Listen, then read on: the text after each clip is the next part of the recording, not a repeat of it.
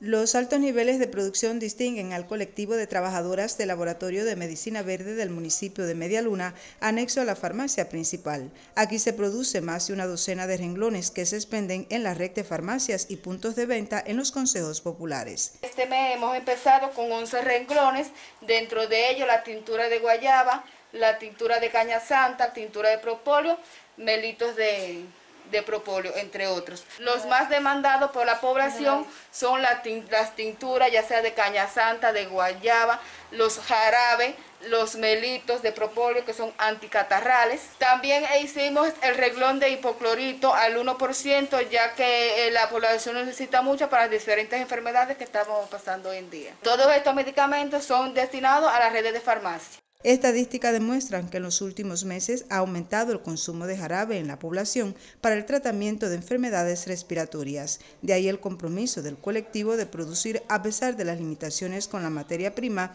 y frasco para el envase de los productos terminados. Necesitamos a la población que todos los frascos que tengan en las casas, por los CDR, la federación, que los recojan y nos lo hagan llegar aquí al centro productor. Somos tres trabajadores que estamos aquí trabajando hasta las horas que sean necesarias para cumplir con la producción, para llegarle así a toda la población, ya que la medicina industrial tiene déficits. El uso de plantas medicinales para el tratamiento de diversas enfermedades se remonta varios años atrás y constituye la más tradicional de las medicinas cubanas. Mariela Fernández para el Sistema Informativo de la Televisión Cubana.